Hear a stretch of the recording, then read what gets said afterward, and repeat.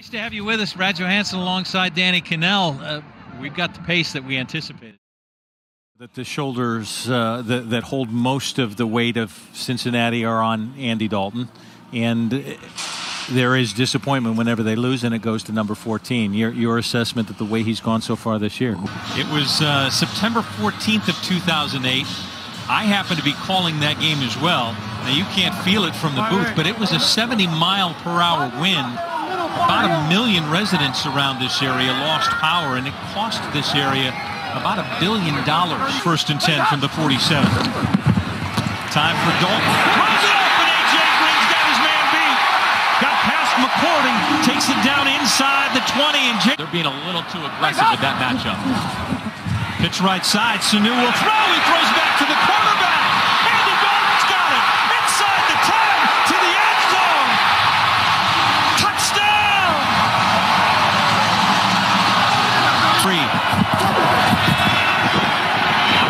Steps up.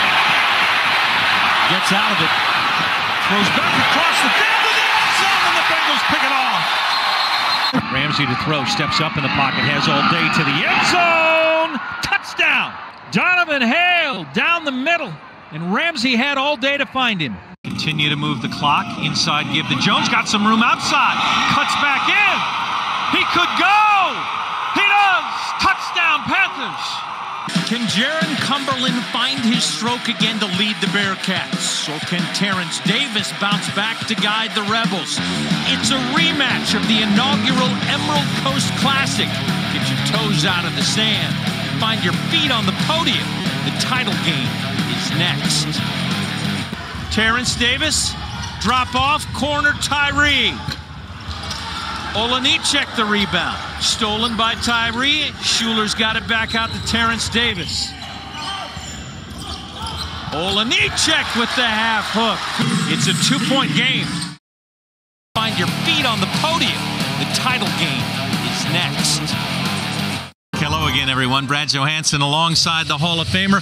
Hope that your Thanksgiving holiday was fantastic. It's always a pleasure to join you, Lap. Nice to be with you here in Destin. Well, it's always great to be with you, Brad. Olejniczak with the half hook. It's a two-point game. Oh, that's a bad pass. Lost ball. Shuler the finish. 20 points for him. Career high, Devontae Shuler. Tyree lost the handle. Got it out to Buffen. Two on the shot clock. Hinson lets fly and buries it. Welcome back to Destin, Florida, in the first semifinal of the Emerald Coast Classic. TCU on top of New Mexico. Oh, another great look from Meyer to Clark, and he's got a career high 18. Handoff, Moore, two on the floor, and Cumberland will bring it across. Fourth turnover for the Patriots. Cumberland to the rack. Great move. Can't finish. Well, he's got to finish that. Bearcats started two of three from the floor since four of 13. Scott with the duck under, nice move. Scott from the free throw line, great look down to Sosemi. He got a block from behind. Who was it? Shuler.